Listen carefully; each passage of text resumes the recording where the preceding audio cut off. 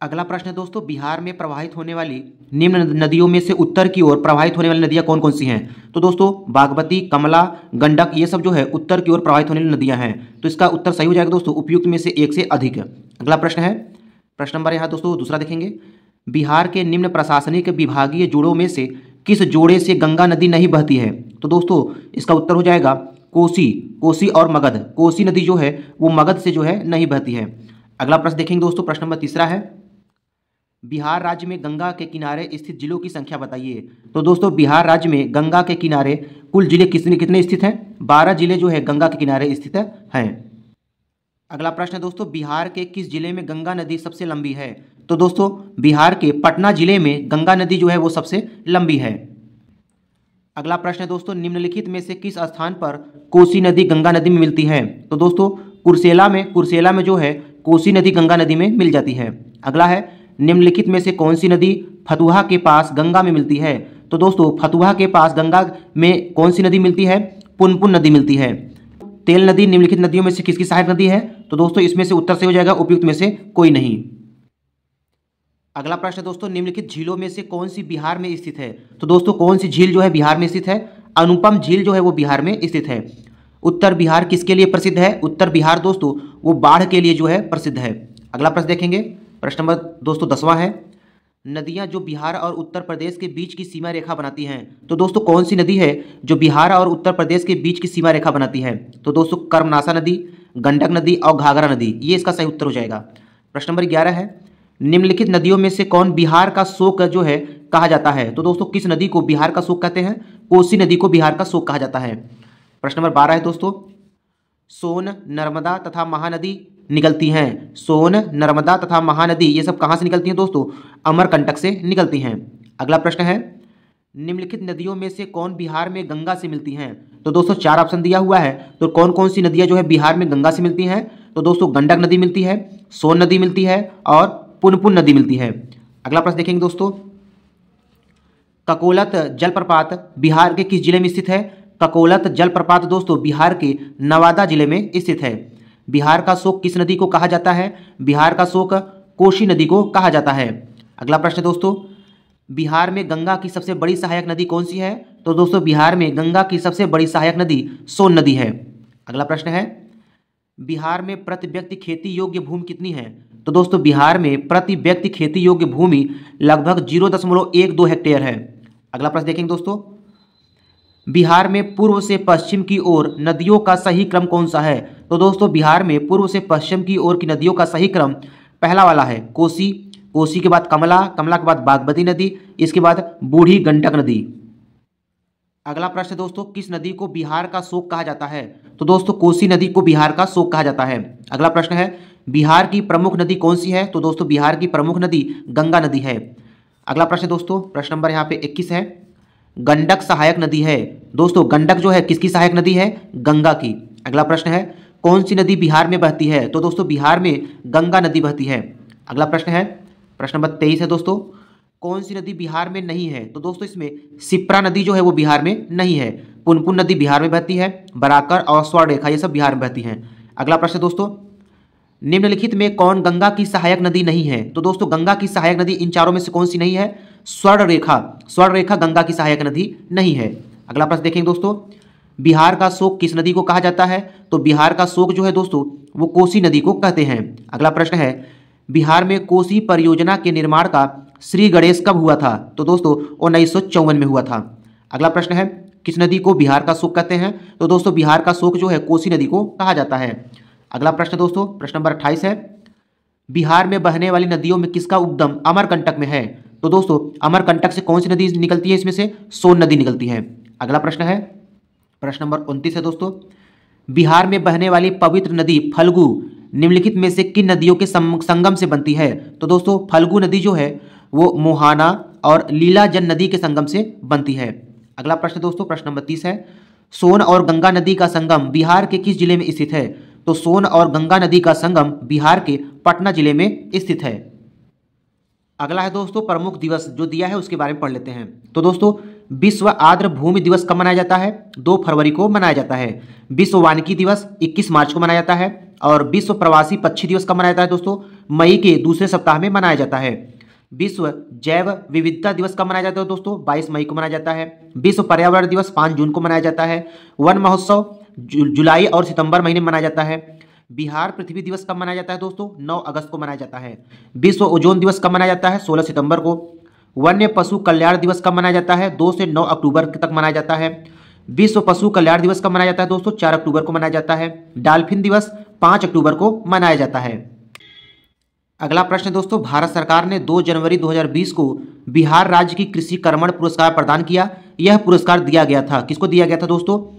मक्का और गेहूँ के उत्पादन और उत्पादकता के लिए दिया गया था।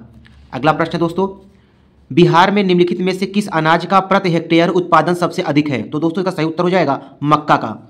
अगला प्रश्न है दोस्तों, बिहार में मछली उत्पादन करने वाले अग्रणी ज़िले कौन से हैं? तो दोस्तों, बिहार में मछली उत्पादन करने वाले अग्रणी ज़िले मधुबनी और दरभंगा हैं।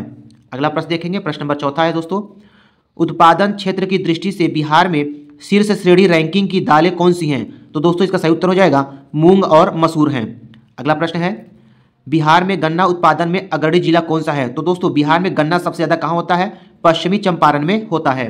अगला प्रश्न दोस्तों, किस खाद्यान्न उत्पादन के लिए बिहार को कृषि कर्मण पुरस्कार 2017-18 मिला है? तो दोस्तों, इसका सही उत्तर हो जाएगा गेहूँ के लिए। अगला प्रश्न दोस्तों, भारत के राज्यों में से जूट उत्पादन की दृष्टि से बिहार का स्थान कौन सा है? तो दोस्तों, जूट उत्पादन की दृष्टि से बिहार का द्वितीय स्थान है। अगला प्रश्न दोस्तों, बिहार में कृषि भूमि की जोतों का औसतन आकार दूसरे राज्यों की तुलना में कितना है? उच्चतम से द्वितीय है। अगला प्रश्न दोस्तों, बिहार का सर्वाधिक जूट उत्पादन जिला कौन सा है? तो दोस्तों, बिहार में सर्वाधिक जूट उत्पादन कहाँ किसमें होता है दोस्तों? पूर्णिया ज़िले में होता है। अगला प्रश्न दोस्तों, अगला प्रश्न दोस्तों, बिहार के क्षेत्रफल में कुल बोई गई भूमि का परसेंटेज कितना है दोस्तों? अस्सी परसेंट है। ये इसका सही उत्तर हो जाएगा। अगला प्रश्न दोस्तों, प्रश्न नंबर ग्यारह है। इसमें दिया है कि सूची फ़र्स्ट को सूची द्वितीय से मिलाना है। तो दोस्तों, उत्तर तथा उत्तर पूर्वी बिहार का मैदान का जो क्षेत्रफल है वो कितना है? उनतीस दशमलव आठ सात परसेंट है और दक्षिण बिहार का मैदान जो है, उसका क्षेत्रफल है तेईस दशमलव सात एक परसेंट है और छोटा नागपुर का पठार, वो छब्बीस दशमलव एक चार परसेंट है और छोटा नागपुर की पहाड़ियों का जो क्षेत्रफल है दोस्तों, वो बीस दशमलव दो आठ परसेंट है। अगला प्रश्न देखेंगे दोस्तों, प्रश्न नंबर यहाँ पे बारह है। बिहार की कुल श्रम शक्ति में कृषि श्रमिकों का अनुपात कितना है? तो दोस्तों, इसका सही उत्तर हो जाएगा अड़तालीस अनुपात अट्ठारह। अगला प्रश्न दोस्तों, बिहार में लीची उत्पादन है। बिहार में दोस्तों, लीची उत्पादन है। भारत के उत्पादन का चौहत्तर परसेंट। प्रश्न नंबर चौदह देखेंगे दोस्तों। प्रश्न नंबर चौदह कहता है, बिहार के कुल उपलब्ध भूमि का कितना परसेंट खेती में काम आता है? तो दोस्तों, बिहार में कुल उपलब्ध भूमि का कितना परसेंट खेती में काम आता है? तो दोस्तों, इन चारों में से कोई उत्तर सही नहीं है। तो इनमें से कोई नहीं इसका सही उत्तर हो जाएगा। अगला प्रश्न दोस्तों, निम्नलिखित में से कौन सा भारत का एक प्रमुख कपास उत्पादक क्षेत्र है? तो दोस्तों, इसका सही उत्तर हो जाएगा दक्कन ट्रेप। अगला प्रश्न है, बिहार की सस्य गहनता कितनी है? तो दोस्तों, बिहार की सस्य गहनता एक परसेंट है। अगला प्रश्न देखेंगे दोस्तों, प्रश्न नंबर सत्रह है, छोटा नागपुर पठार की मुख्य फ़सलें कौन कौन सी हैं? तो दोस्तों, छोटा नागपुर पठार की मुख्य फ़सलें जो है दोस्तों, वो मकई है और दलहन है। अगला प्रश्न है दोस्तों बिहार राज्य की मुख्य नगदी फ़सल कौन कौन सी हैं? तो दोस्तों, बिहार राज्य की मुख्य नगदी फ़सल गन्ना है। अगला प्रश्न देखेंगे दोस्तों। बिहार में कृषि के अंतर्गत क्षेत्र है। बिहार में कृषि के अंतर्गत क्षेत्र है कितना है दोस्तों? पचासी लाख हेक्टेयर है। अगला प्रश्न है, बिहार की मुख्य खाद्यान्न फ़सलें कौन कौन सी हैं? तो दोस्तों, बिहार की मुख्य खाद्यान्न फ़सलें चावल, गेहूँ और मक्का है। अगला प्रश्न देखेंगे बिहार में सर्वाधिक जूट उत्पादन करने वाला जिला कौन सा है? तो दोस्तों, बिहार में सबसे ज़्यादा जूट जो है, वो पूर्णिया ज़िले में उत्पादन होता है। अगला प्रश्न दोस्तों, चावल उत्पादन की दृष्टि से बिहार का देश में किस क्रम का स्थान है? तो दोस्तों, चावल उत्पादन की दृष्टि से भारत का बिहार का दोस्तों चौथा स्थान है। चावल उत्पादन की दृष्टि से बिहार का चौथा स्थान है। अगला प्रश्न देखें दोस्तों, जौ उत्पादन में बिहार का भारत में कौन सा स्थान है? तो दोस्तों, जौ उत्पादन में बिहार का तीसरा जो है स्थान है। अगला प्रश्न है। प्रश्न नंबर चौबीस। बिहार में भूमि का उपजाऊ अंश कौन सा है दोस्तों? बिहार में भूमि का उपजाऊ अंश है उत्तरी बिहार। अगला प्रश्न है, बिहार के किस ज़िले में अफीम की खेती होती है? तो दोस्तों, बिहार के मुंगेर ज़िले में अफीम की खेती होती है। अगला प्रश्न दोस्तों, बिहार के पूर्वी भाग में किसकी खेती सबसे अधिक होती है? तो दोस्तों, बिहार के पूर्वी भाग में किसकी खेती सबसे ज़्यादा होती है? पटसन की। अगला प्रश्न है बिहार की मुख्य नगदी फ़सल कौन सी है? गन्ना। अगला प्रश्न प्रश्न है दोस्तों। हाजीपुर जो है, किसके लिए जाना जाता है? हाजीपुर दोस्तों, किसके लिए जाना जाता है? फल प्रसंस्करण के लिए जाना जाता है। अगला प्रश्न दोस्तों, जूट के उत्पादन में बिहार का कौन सा जिला अग्रणी है? तो दोस्तों, इसका सही उत्तर हो जाएगा पूर्णिया जिला। अगला है, बिहार में लगभग कितने क्षेत्र पर कृषि कार्य होता है? तो दोस्तों, साठ परसेंट क्षेत्र पर कृषि कार्य होता है। अगला प्रश्न दोस्तों। पटना हाईकोर्ट की स्थापना कब हुई थी? पटना हाईकोर्ट की स्थापना 1916 में हुआ था। अगला प्रश्न दोस्तों, निम्नलिखित में से कौन सी वस्तु बिहार के भौगोलिक संकेत के रूप में पंजीकृत नहीं है? तो दोस्तों, इसका सही उत्तर हो जाएगा मुंगा रेशम। अगला प्रश्न है, प्रश्न नंबर तैंतीस है। निम्नलिखित में से किसे अगस्त 2022 में भौगोलिक संकेतक जीआई टैग से सम्मानित किया गया है? मिथिला मखाना को। अगला प्रश्न दोस्तों, प्रश्न नंबर चौंतीस है।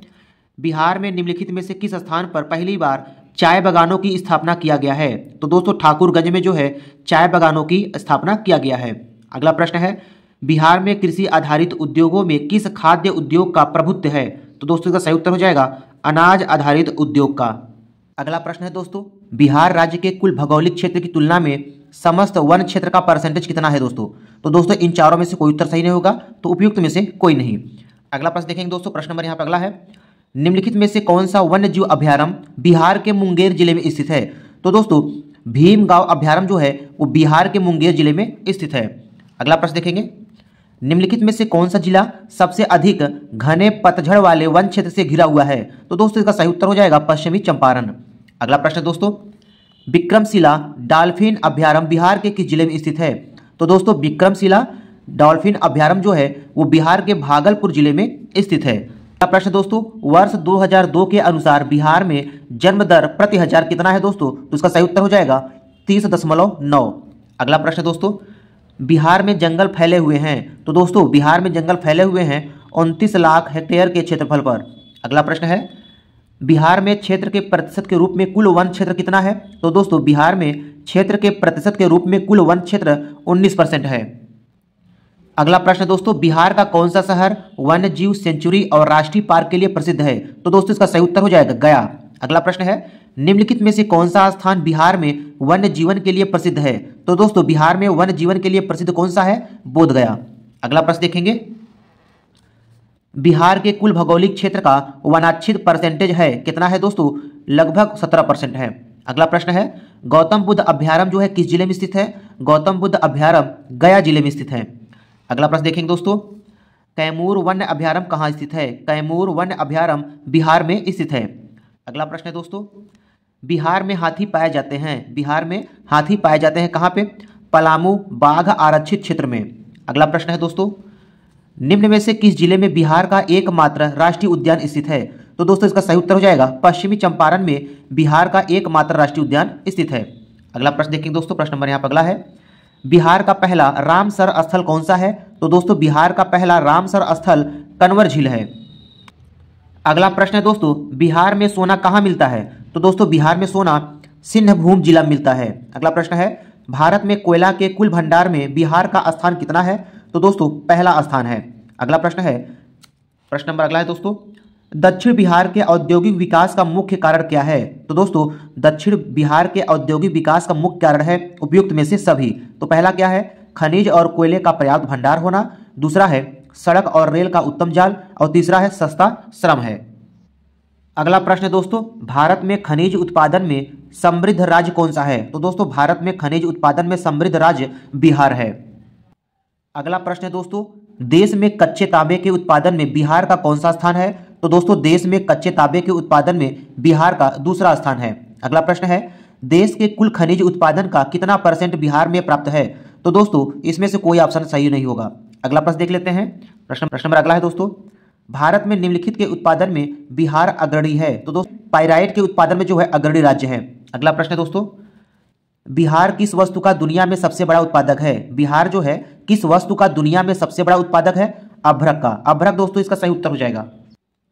अगला प्रश्न है दोस्तों, अगला प्रश्न है दोस्तों, भारत में बिहार अग्रणी उत्पादक है अभ्रक में। अगला प्रश्न है, बिहार समृद्ध है? बिहार दोस्तों समृद्ध है किसके लिए? हस्तकला के लिए। अगला प्रश्न दोस्तों, खनिज उत्पादन में बिहार, भारत के संपूर्ण खनिज उत्पादन का कितना परसेंट का हिस्सेदारी है? तो दोस्तों 40 परसेंट का हिस्सेदारी है। अगला प्रश्न है, बिहार में मिलने वाले अच्छे किस्म के अभ्रक को किस नाम से जाना जाता है? तो दोस्तों, बिहार में मिलने वाले अच्छे किस्म के अभ्रक को रूबी माइका के नाम से जाना जाता है। अगला प्रश्न है दोस्तों, बिहार में क्या नहीं पाया जाता है? तो दोस्तों, क्या नहीं पाया जाता? है लोहा, कोयला या सोना या मैग्नीज। इसमें से दोस्तों, लोहा भी बिहार में पाया जाता है, सोना भी पाया जाता है, कोयला भी पाया जाता है और मैग्नीज भी पाया जाता है। तो दोस्तों, इसमें सभी उत्तर सही होगा। अगला प्रश्न है दोस्तों, बिहार में खनिज उत्पादन का कुल उत्पादन भारत के कुल उत्पादन की तुलना में कितना परसेंट है? तो दोस्तों, चालीस परसेंट है। तो ये इसका सही उत्तर हो जाएगा। अगला प्रश्न है दोस्तों, बिहार एकमात्र उत्पादक है। बिहार जो है, एकमात्र उत्पादक है किसका? कोकिंग कोयले का।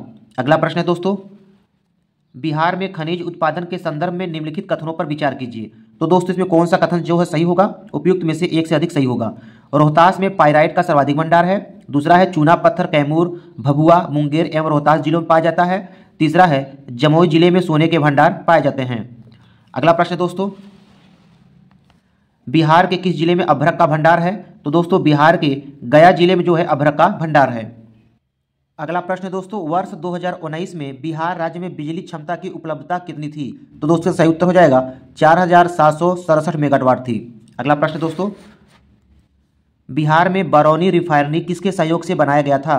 तो दोस्तों, बिहार में बरौनी रिफाइनरी जो है, वो सोवियत रूप के सहयोग से बनाया गया था। अगला प्रश्न है, दोस्तों, बिहार में किस प्रकार के उद्योगों की प्रत्यास्था एवं संभावनाएँ हैं? तो दोस्तों, इसका सही उत्तर हो जाएगा, कृषि आधारित उद्योग। अगला प्रश्न है, बाढ़ सुपर थर्मल पावर स्टेशन किस राज्य में स्थित है? तो दोस्तों, बाढ़ सुपर थर्मल पावर स्टेशन जो है, वो बिहार राज्य में स्थित है। अगला प्रश्न देखेंगे, बिहार में निम्नलिखित में से कौन सा रेशम सिल्क वस्त्र उत्पादक केंद्र है? तो दोस्तों, भागलपुर। भागलपुर इसका सही उत्तर हो जाएगा। अगला प्रश्न है निम्नलिखित स्थानों में भारत वैगन एवं इंजीनियरिंग कंपनी लिमिटेड कहाँ स्थित है? मोकामा में स्थित है। मोकामा इसका सही उत्तर हो जाएगा दोस्तों। अगला प्रश्न है, बिहार में डालमिया नगर जो है किसके लिए प्रसिद्ध है दोस्तों? बिहार में डालमिया नगर सीमेंट के लिए प्रसिद्ध है। अगला प्रश्न है, बिहार में उद्योगों का कमिश्नर दफ्तर कहाँ स्थित है? तो दोस्तों, बिहार के उद्योगों का कमिश्नर दफ्तर पटना में स्थित है। अगला प्रश्न देखेंगे। बिहार राज्य विभाजन पूर्व में कितने औद्योगिक क्षेत्र का विकास प्राधिकरण था? तो दोस्तों का सही उत्तर हो जाएगा छ। पहला क्या था? आदित्यपुर, बोकारो, पटना, रांची, दरभंगा और मुजफ्फरपुर। अगला प्रश्न है, प्रश्न नंबर अगला है दोस्तों। बिहार की उस योजना का नाम बताइए जो निर्यातोमुखी इकाइयों की स्थापना के लिए अपेक्षित उच्च स्तरीय अवसंरचनात्मक सुविधाओं के निर्माण पर ध्यान देती है। तो दोस्तों इसका पहला उत्तर सही हो जाएगा। Integrated infrastructure development. अगला प्रश्न है दोस्तों, भारत का कौन सा राज्य सर्वाधिक अभ्रक उत्पादन करता है? तो दोस्तों, बिहार राज्य जो है, सर्वाधिक अभ्रक उत्पादन करता है। अगला प्रश्न है, निम्नलिखित में से किस वैश्विक कंपनी को बिहार में लोकोमोटिव कारखाना स्थापित करने का ठेका मिला है? तो दोस्तों, इसका सही उत्तर हो जाएगा जीई एंड अल्स्टॉम को। अगला प्रश्न है, कपिलांश धातु उद्योग की स्थापना कहाँ हुई है? तो दोस्तों, कपिलांश धातु उद्योग की स्थापना बक्सर जिला का राजपुर में हुआ है। अगला प्रश्न है सुधा को ऑपरेटिव की स्थापना किस आईएएस अधिकारी ने किया था? तो दोस्तों, सुधा को ऑपरेटिव की स्थापना रामचंद्र सिन्हा ने किया था। अगला प्रश्न है, बरौनी तेल शोधक कारखाने को तेल शोधन क्षमता कितनी है दोस्तों? साठ लाख टन है। अगला प्रश्न है, टाटा लौह एवं इस्पात कंपनी की स्थापना सिंहभूम ज़िले के साकची में किस वर्ष किया गया था? 1907 में किया गया था। अगला प्रश्न है निम्नलिखित उद्योगों में से किसे बोकारो में स्थापित किया गया है? तो दोस्तों, बोकारो में लौह एवं इस्पात को जो है स्थापित किया गया है। अगला प्रश्न है, बिहार का एक इस्पात कारखाना दोस्तों कहाँ पर है? तो दोस्तों, बिहार का एक इस्पात कारखाना जमशेदपुर में है।